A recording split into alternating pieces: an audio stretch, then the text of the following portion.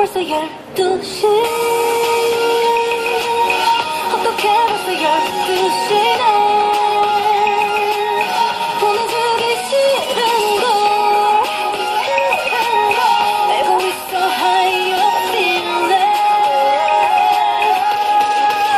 음악에 맞춰 사랑을 속삭이고 솔직히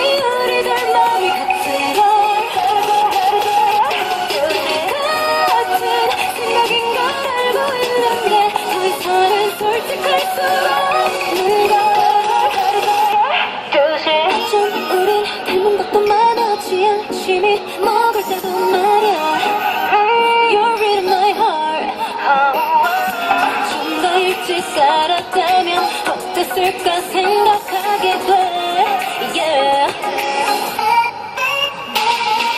별들은 더 빛나고 시간은 점점 지나고 완성은 더 짙어져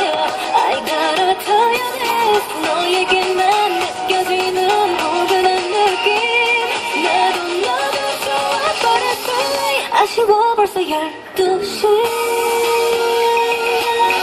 어떻게 벌써 열두 시네. 보내주기 싫은 걸 알고 있어. How you 음악에 맞춰 사랑을 속삭이고 싶어. 솔직히 우리 닮아이 같은